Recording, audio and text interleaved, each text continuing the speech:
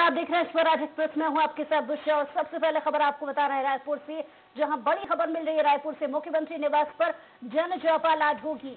भेंट मुलाकात आज होगी।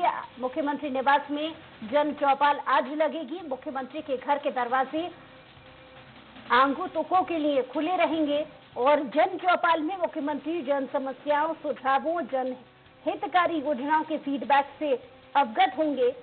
आमजनों और संस्थानों के प्रतिनिधियों से मुलाकात होगी। जन चौपाल का आयोजन सुबह 11 बजे से शुरू होगा।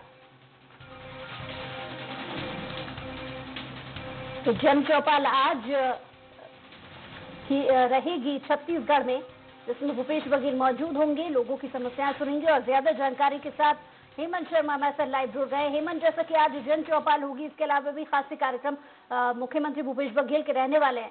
क्या पूरी दिनचर्या आज मुख्यमंत्री भूपेश बघेल की रहने वाली है? देखिए दूसरा अगर मुख्यमंत्री के दौरे की बात की जाए तो पूरे दिन भर वो आज मुख्यमंत्री निवास पर रहेंगे क्योंकि आज जन चौपाल का आयोजन है। सुबह ग्यारह बजे से, जो जन चौपाल है, वो शुरू होगा। लगभग एक बजे तक इसके लिए पंजीयन होगा। उसके बाद लगातार मुख्यमंत्री आम लोगों से मुलाकात करेंगे। अगर पूरे जन चौपाल की बात की जाए तो इसको एक भेंट कार्यक्रम भी का भी नाम दिया गया है।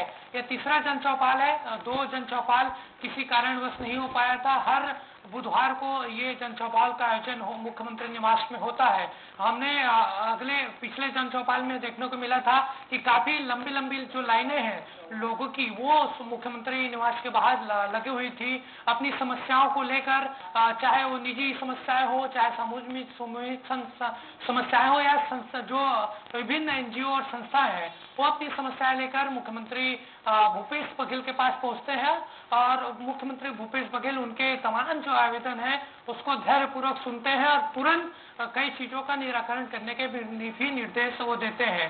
तो अगर देखा जाए तो जन चौपाल करने का उद्देश्य यही था कि जो समस्याएँ लोगों की हैं, जो प्राथमिक स्तर पर उनकी समस्याओं का निराकरण नहीं हो पाता तो ऐसी समस्याओं का खुद मुख्यमंत्री भूपेश बघेल निराकरण कर रहे हैं। और आज आज भी अगर पूरे कार्यक्रम की बात की जाए तो बड़ी दूर दूर से लोग अपनी समस्याएँ लेकर पहुँच रहे हैं। अभी वर्तमान स्थिति की मैं बात करूँ तो सुबह सात बजे से मुख्यमंत्री निवास के बाहर लंबी लंबी लाइनें लग गई थी, क्योंकि लोग बड़ी उम्मीद से वहाँ पर पहुँचते हैं और ये उनकी कोशिश रहती है कि जो उनकी समस्याएँ है, वो कम से कम पूरी हो।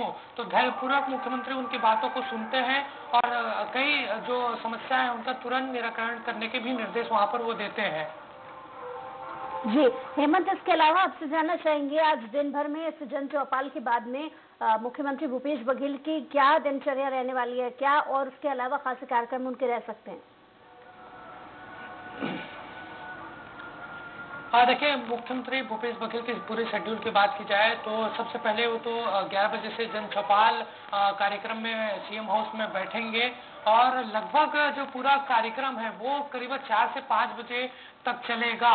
क्योंकि तो पूरा जो पंजीयन का कार्यक्रम है वो एक बजे तक होगा। उसके बाद भी लगातार मुख्यमंत्री आम लोगों से और जो विभिन्न एनजीओ और संस्था के लोग हैं उनसे मिलेंगे। तो पूरे उनके कार्यक्रम की बात की जाए तो जो हमारे पास उनका जो कार्यक्रम आया है, वो सिर्फ़ सीएम हाउस का है।